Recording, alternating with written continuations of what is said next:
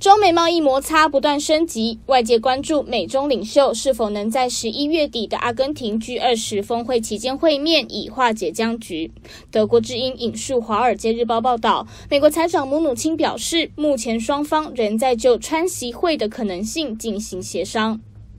摩努钦与美国保守派智库哈德逊研究所中国战略研究中心主任白邦瑞皆强调，川习会成型的前提在于中国承诺进行重新改革。穆努钦表示，如果双方的讨论都能够朝着正确的方向前进，那么川普总统会愿意与习近平总统会面。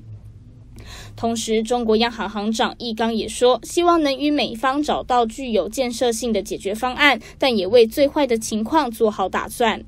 美国之音报道，易纲十四号在一场国际研讨会上指出，贸易战不仅会导致中美双输，也会对中国经济带来负面预期。他强调，中国将专注在加速国内改革及金融业的对外开放，并强化智慧财产的保障。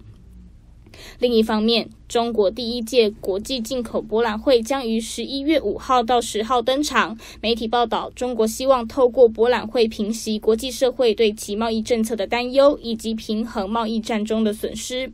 不过，外国企业与外交官对此保持怀疑态度，强调希望能看到中方透过实际的改革政策来进一步开放市场。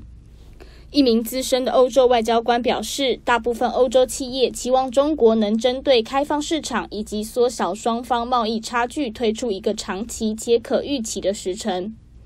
路透社报道，有消息人士透露，中国各地使馆及国内官员花了几个月去强力游说外国政府及企业出席博览会。然而，华盛顿国际战论研究中心的中国经贸专家甘斯德强调，中国在推广博览会时所采用的手段完全违背他们标榜的展览会目的。他认为，当下的情况反而显现出中国与其他国家认知上的落差。新闻时事报记者罗千竹整理报道。